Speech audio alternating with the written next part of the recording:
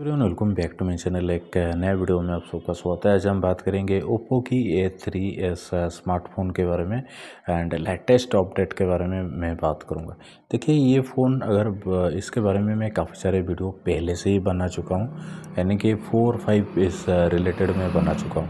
देखिए, यहाँ पर अगर बात करें ओप्पो की ए थ्री एस ये इस फ़ोन में जिस टाइप के फीचर्स है, किसी दूसरे फ़ोन में आपको ये हिडन फीचर्स देखने को नहीं मिलेगा।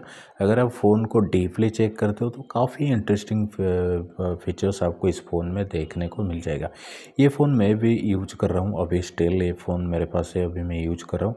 एंड ये फ़ोन में काफ़ी सारा इंटरेस्टिंग फीचर्स है, चाहे वो स्क्रीन लॉक को लेके हो एंड सिक्योरिटी को लेके हो एंड बहुत सारे ऐसे फीचर्स है जहाँ पे कोई दूसरे फ़ोन में आपको इस टाइप का देखने को नहीं मिला है ओके तो देखिए, ये फ़ोन अगर बात करें, पुराना हो चुका है स्टिल काफ़ी परफॉर्मेंस की बात करें तो काफ़ी बेहतरीन परफॉर्मेंस है एंड अभी ये एंड्रॉयड टेन में चल रहा है। तो यहाँ पे अगर आपको चाहिए एंड्रॉयड इलेवन या ट्वेल्व आप कर सकते हो। मैं काफ़ी सारे वीडियो में भी कह चुका हूँ।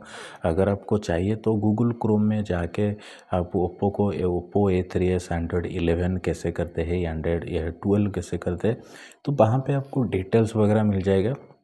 आप आराम से वहाँ पे कर सकते हो। बट यहाँ पे क्या हो क्या होगा कि देखिए, ये ऑफिशियल तो अपडेट नहीं है। ऑफिशियल अपडेट करना एंड गूगल क्रोम में अपडेट करना काफ़ी फ़र्क होता है उस, उन दोनों में।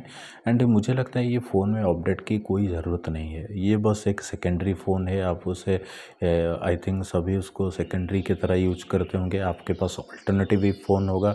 एंड मुझे लगता है कि इस फ़ोन में अपडेट की कोई ज़रूरत ज़रूरत नहीं है। एंड ये फ़ोन में अगर फिर भी आपको इस फ़ोन में कुछ चाहिए मतलब बैटरी के ड्रेन की प्रॉब्लम, कैमरा के इम्प्रूवमेंट को लेके ही है, चाहे वो कनेक्टिव कनेक्टिविटी को लेके ही। अगर आपका कुछ प्रॉब्लम है देन आप कमेंट में मुझे बताओ।